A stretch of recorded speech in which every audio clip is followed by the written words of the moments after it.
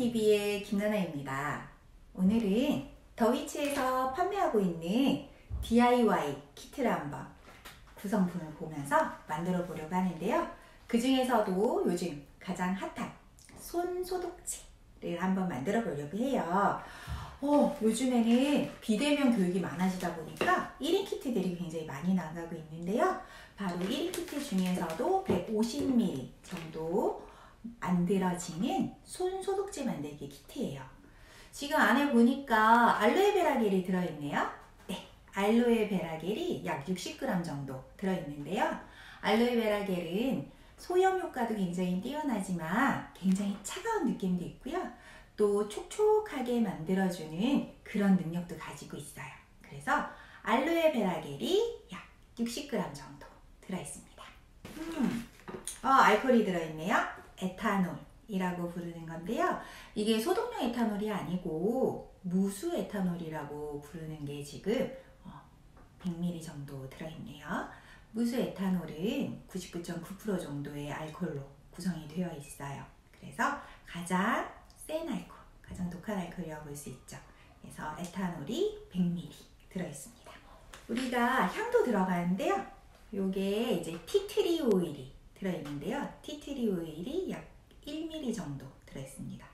티트리 오일은 살균 소독 효과가 굉장히 뛰어나고요. 원액 자체를 피부에 직접 발라도 아무 문제가 없을 정도로 아로마 오일 중에서는 그래도 가장 어, 순하다고 볼 수가 있죠. 그래서 라벤더와 티트리 오일만 피부에 바를 수 있어요. 그 중에서도 살균 소독 능력이 뛰어난 티트리 오일이 1ml 정도 들어있습니다. 용기 들어있고요. 다음에 스티커도 있네요. 그리고 바로 설명서 이렇게 구성이 되어 있습니다. 자, 그러므로 누구나 만드실 수가 있어요. 만드는 것도 굉장히 간단합니다. 한번 따라해 볼까요? 자, 먼저 B컵 또는 컵을 준비해 주셔도 돼요. 그래서 컵에다 직접 만들어 보시는데요. 먼저 저는 소독을 먼저 해볼게요. 소독용 에탄올로 소독을 해주실 때는 호흡기에서부터 좀 멀리 이렇게 해주시는 게 좋겠죠. 자, 그리고 담을 용기도 소독을 해주시는 게 좋겠죠. 자, 담을 용기들도 소독해 주시고요. 그 다음에 이렇게 펌프 누르는 부분들도 다 소독을 해주세요.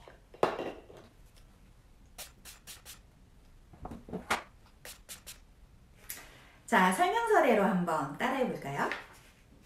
1. 에탄올을 별도의 용기에 담아 아로마 오일을 넣고 잘 섞어준다. 자, 알코올을 용기에 담아 저희는 비커를 사용하기로 했으니까 비커에다 담아. 그 다음에 할 일이 아로마 오일을 먼저 녹여준다. 라고 되어 있어요.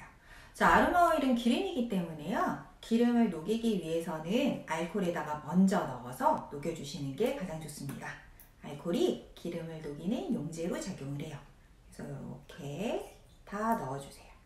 그래서 만들 때 순서가 중요합니다.